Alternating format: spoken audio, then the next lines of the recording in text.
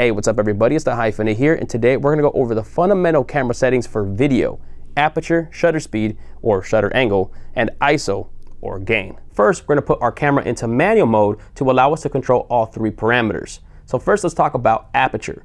Aperture is the opening of a lens that allows light to pass through and reach your camera's sensor. In photo, it's measured in f-stops. In film, it's measured in t-stops. Different lenses have different adjustable aperture ranges. For example, a lens may have f1.4 to f16. Another lens may have f2.8 to f22, etc. The lower the f-stop, the wider the opening in the lens, thus wider aperture. That allows more light into the sensor, creating a brighter image and also giving you a more shallow depth of field. So your background or foreground, whatever is not in focus, will be more blurry. So to give you an example, here I'm controlling my camera with my phone. So if I change the f-stop from currently f1.3 to something higher like an f5.6, you're gonna see it got darker, but also the background is more in focus now. So let me go ahead and bring up the light, just that way we can get a clean look. So now the light is pretty much right in front of me 100% output power. It's a really bright light, so it's actually really bright on me. We're still at f5.6, but now you can really see the background, the brick wall, how much more is in focus. So the higher the f-stop, the more narrow the opening, hence a narrow aperture. You get less blur, more of the image in focus. You get less light, resulting in a darker image. Now a term that a lot of people use is referring to a lens as fast a fast lens. That tends to be a lens with a wider aperture such as f1.8, f1.4, f1.2, etc. Wider apertures are ideal for portraits, scenes with low light, and have a more cinematic look on video. Higher f-stops are great for landscapes, buildings, products, or if you have multiple people in a photo. Now most consumer and prosumer cameras use the term shutter speed, though a lot of film cameras use shutter angle, and some cameras allow you to choose between the two. Now shutter speed and shutter angle directly correlate with your frame rate, your frames per second, and that's very important. The cinematic look is 24 frames per second, though in NTSC it's 23.976.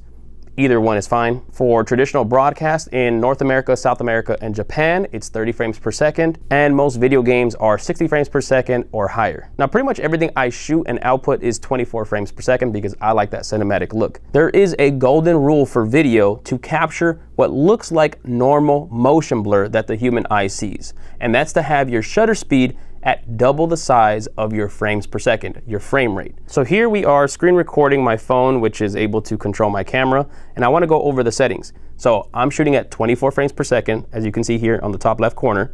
My shutter speed is set to 148th of a second. Again, the 24 times two, doubled. Now, a lot of cameras don't have 148th of a second shutter speed as an option. It might be 150th, and that works fine. Use that. Now, if you're shooting 30 frames per second frame rate, you would want your shutter speed to be 160th. If you're shooting at 60 frames per second, you'd want your shutter speed at 1 120th of a second. Now, if you're shooting with a camera that has the option shutter angle instead of shutter speed, then all you have to do is set your shutter angle to 180 degrees. That is the doubling of the shutter speed, so you'll get that natural motion blur. Now, if you have a lower shutter speed, you're gonna get more motion blur, which can give either a dreamy or a psychedelic type of vibe, something where you're zoned out, spaced out.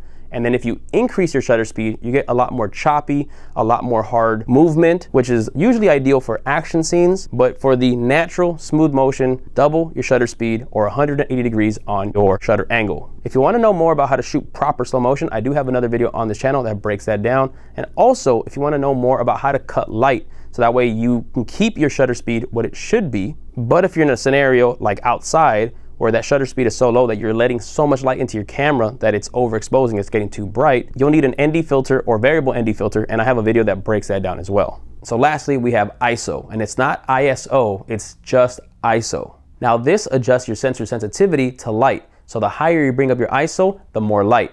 The lower the ISO, the darker. However, there are some trade-offs. The higher you go up in ISO, the more noise you're gonna get in your image, so more grain and less sharpness. And the lower you are in your ISO, the cleaner the image, less grain, less noise, and sharper. So generally, I shoot at the lowest possible ISO and only raise it up as I need it. So here, controlling my camera, right now we are currently at ISO 400, shooting at f1.2, so wide open, and a shutter speed of 1 48th of a second. So at 400 ISO, I have very little noise, If I go down to 50, the lowest I can go, I'm gonna have the cleanest image. So if I wanna make this properly exposed, I would need to increase my lights to make sure that I have a good exposure with the lights and keeping my ISO low. But if I keep the lights at the power that they are at now, I'm gonna need to go towards 400 ISO in order to get a good exposure.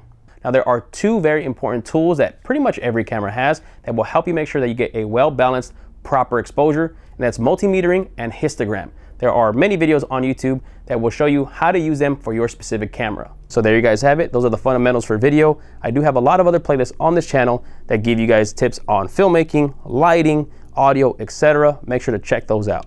Now we did shoot this video at Doubt Me Studios, which is my film photo studio in Los Angeles County. If you're interested in booking it for your productions, we do have a link in the description or just check out doubtmestudios.com. Hopefully this video helped you. We have a lot of other playlists on this channel that go over video, photo, flash, lighting, etc. So check out those playlists. Please make sure to drop a like on this video, drop a comment below if you have any questions, and please make sure to subscribe. I have a lot more videos coming soon. I'll catch you guys on the next one. Peace.